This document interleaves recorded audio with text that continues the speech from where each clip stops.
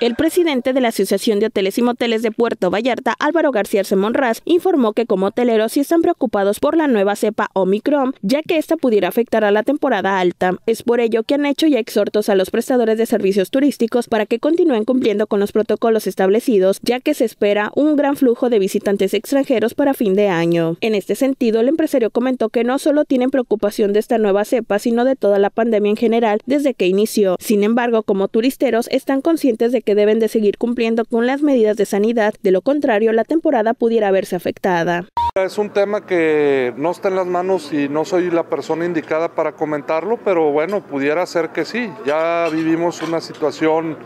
muy difícil tanto en el 2020 como 2021, pero creo que Puerto Vallarta con el índice de vacunación que tenemos importante, eh, positivo, es decir, un porcentaje amplio de la de la comunidad vacunada y siguiendo con los protocolos que hoy tenemos, pues nos ha dado eh, de alguna forma eh, unos números positivos en el control de la pandemia. Por otro lado, señaló que hay una gran expectativa de que Puerto Vallarta llegue al 100% en las últimas semanas del año. Tenemos una gran expectativa, los números son positivos, estamos buscando de alguna manera sí tratar de mantener una ocupación favorable, sin embargo estamos cuidando mucho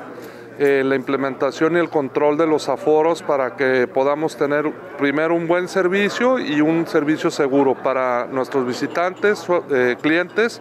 y también nuestros colaboradores. Cabe recordar que el gobernador del estado, Enrique Alfaro Ramírez, ha anunciado que hasta el momento no habrá cambios en cuanto a las restricciones existentes debido a esta nueva cepa. Sin embargo, Puerto Vallarta tiene foco amarillo de atención, esto debido al mayor flujo de turistas que visitan el destino, siendo que las últimas dos semanas se han registrado un incremento constante en el número de casos activos, pero la capacidad hospitalaria se encuentra en niveles muy bajos.